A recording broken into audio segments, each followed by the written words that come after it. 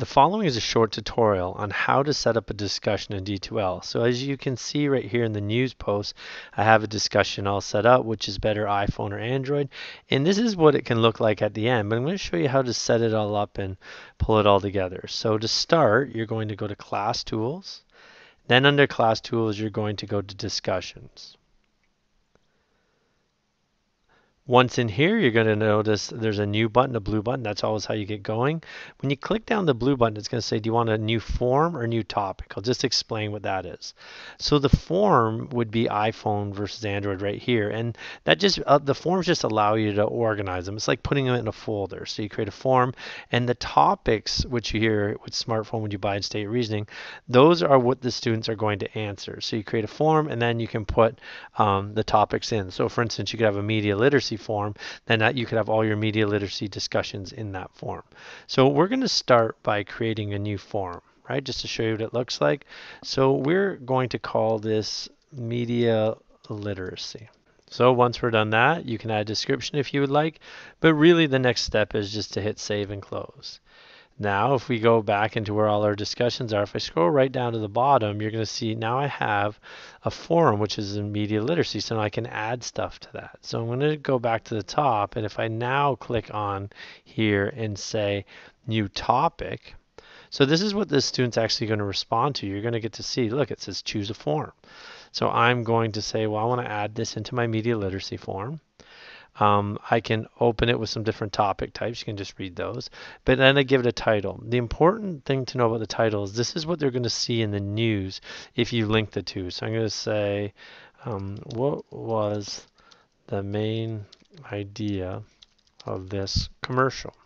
Now, what I really love about this is that in the description you can put in your expectations, instructions, questions, anything you want to put in. But what's really nice about it is it has insert stuff. So if I wanted to go into insert stuff, I could go into YouTube if I wanted. So let's just say for media literacy, I wanted them to look at a commercial. I could pull up this commercial in here and students could watch the commercial right in this window. So this is the one I'm going to choose. I'm going to hit next. I'm going to insert it. For those who know me, I like to center things. I can go under here and put like my expectations for this or the instructions as I said. Now if you keep scrolling down, once you have this filled out, it says, what do you want? Do you want to allow anonymous posts? Probably not. Moderator of posts means that you get to approve posts before they're shown.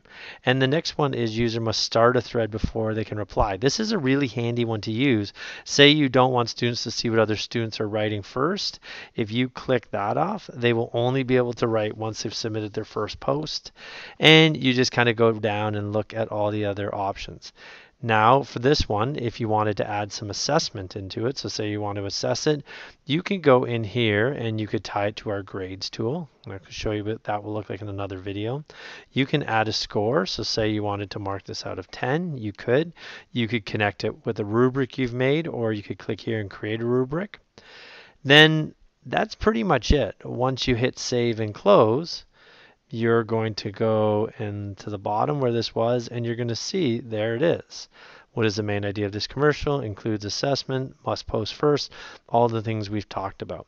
So I'm going to take you back to the home page and I'm going to show you how I did um, it like I did in that main that post I put in the news. So seeing this one, how I have the video, I have an image, I can do whatever I want with my news post, but these links I'm going to show you how to put those in. So if I wanted to get students to it quickly, I could go new news item, right? In this new news item, I could, if I wanted to, I could put the video in using insert stuff. I could put some text in there explaining what we're doing. Whatever I was going to do, I could do that first. But here's the nice trick. This tool right here, or this tool within insert stuff is called insert quick link.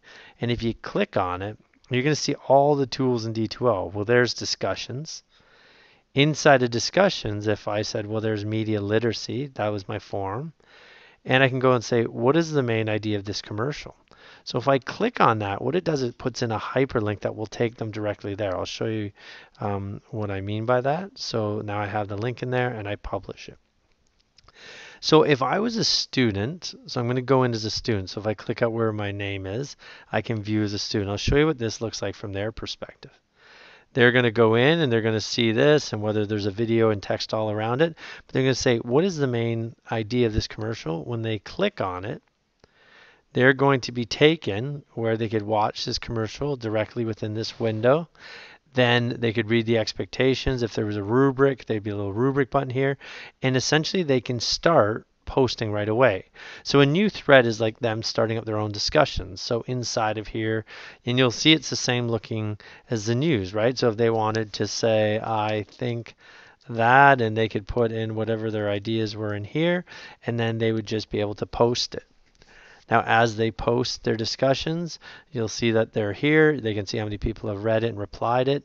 If you click on the actual discussion, so students click on other students' posts, they will have the ability to reply to that discussion and they can have a conversation within it. And the great part about this is it's all monitored and it's um, the students when they post they can't take it back, so they're generally really well behaved in here because they know it's going to be tied to assessment or um, they're going to be accountable for what they post. So that's just a quick tutorial on how to set up a topic inside of the D2L discussions and how to link it into your news.